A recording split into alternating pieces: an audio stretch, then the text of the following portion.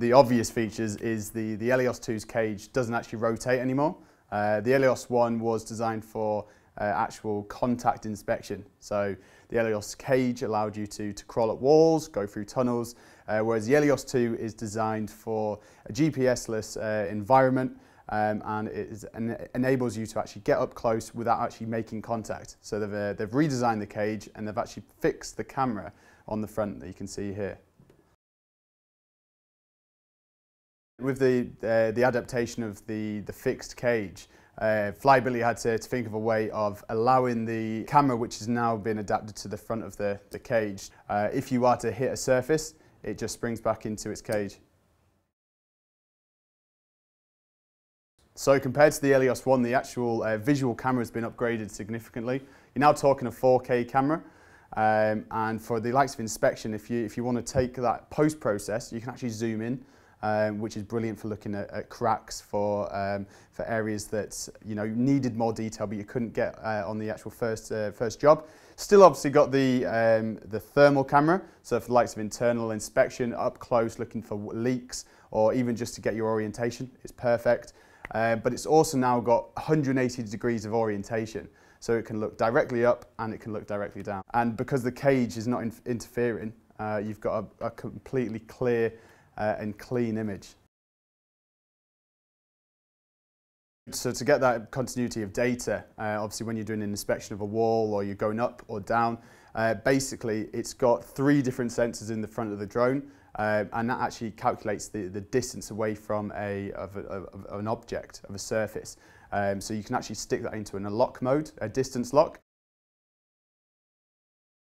The distance lock uh, feature, uh, you can actually detect uh, surfaces up to, up to 10 metres, uh, but you can actually put a distance lock up to 30 centimetres away, which allows you to, to maintain that, that distance and, and have a, a valid inspection.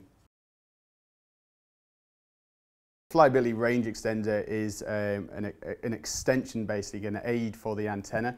Um, so if you're going into, into manholes where you've got to, to go through culverts uh, to, to areas where you can't physically see uh, or your, your, your actual controller can't reach, uh, the range extender can be lowered down, it's about 30 metres long, uh, and it can be lowered down into these areas where the, the drone can then get a full uh, ampli amplitude of, of the actual data uh, through, the, through the signal boost. The redesigned LED lights, uh, they're actually 10,000 lumens, um, which, is, which is fantastic for internal uh, inspection because it actually lights up the, the whole area. Um, but what it does mean also is now you've got dust-proof lighting, uh, so you can actually turn off the front light and so you can actually see great data for, you know, uh, 10, 20 meters. Uh, but one of the great features of having these, uh, th this lighting system is you can actually do oblique lighting. Uh, so when you go up against the wall, you can actually turn the drone, um, flick on one of the, the side lights, uh, and it will give you uh, a full image of all of the, all the cracks, uh, imperfections, holes um, that you wouldn't be able to see if you were doing a, a face-on inspection. Yeah, in fact, uh, they've actually teamed up with Pix4D, who have uh, taken the, the camera features from the Elios 2 and input them into, uh, into Pix4D Mapper. Um, now, because you don't have the cage rolling over, it's going to take 4K imagery uh, and it's going to be a full video uh, that you can then process into Pix4D and create internal 3D maps. So, so some of the major benefits that the Elios 2 is going to provide its end users is having that high quality, consistent data.